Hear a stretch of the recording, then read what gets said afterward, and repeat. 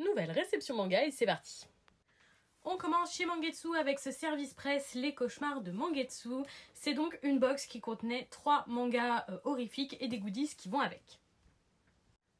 On commence avec le premier tome de Smile, une série qui a l'air vraiment très sympathique, qui va nous parler d'une secte euh, japonaise fictive et ça a l'air vraiment très intéressant. On retrouvera dans ces trois titres de toute manière beaucoup de notions d'horreur ou de gore.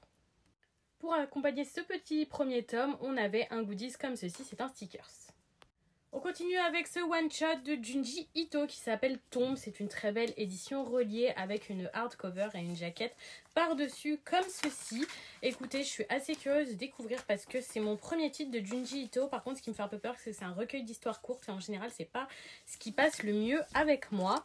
En goodies, on avait comme ça deux petits pins de deux personnages qu'on retrouvera très fort probablement, je pense, dans ce titre. Et comme ça, un sac avec, il me semble, le personnage principal du manga Tomie, si je dis pas de bêtises. On continue avec PTSD Radio, le premier volume, il y a déjà 6 tomes en cours au Japon.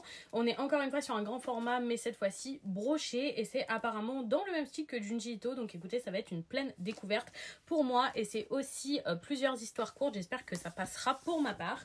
C'était accompagné euh, d'une jolie illustration comme ceci, que je trouve très très chouette. On retrouve également dans ce pack un porte-clés comme ceci, Gallery of Akaba. Je vous avoue que je ne sais pas du tout ce que c'est. Et on avait une petite fiche de présentation comme ça du concept et des trois titres. Moi, c'est vraiment Smile qui m'a tapé dans l'œil. On passe chez Doki Doki, toujours dans les services presse, avec un one-shot. Le chat mène l'enquête. Ça a l'air vraiment très très mignon et sympathique. On va suivre les aventures d'un chat. Ça a l'air d'être des histoires courtes. J'espère que ce ne sera pas le cas. Et on avait reçu une petite présentation comme ça dans un petit euh, dossier euh, façon journaliste avec la présentation du titre. On passe chez Soleil Manga avec le premier volume de My Second Love Ayami Kun, qui est donc un titre de Saki Aikawa. En ce moment, je suis un peu en guerre avec Saki Aikawa. J'avais plein de titres de cette mangaka dans ma pile à lire qui traînait depuis longtemps. Je les ai ressortis et plus ça va, moins je l'apprécie. Donc j'espère qu'avec un titre plus récent, ça passera mieux parce que jusqu'ici, je trouve ces shoujo trop classiques et surtout ces personnages masculins très toxiques.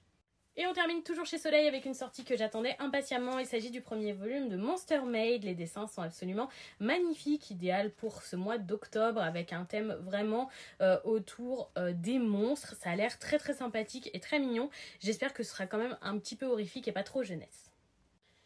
Et donc voilà pour ces quelques réceptions avec deux jolis packs presse et un joli dossier presse. Dites-moi si certains titres vous tentent, je serais curieuse de vous lire.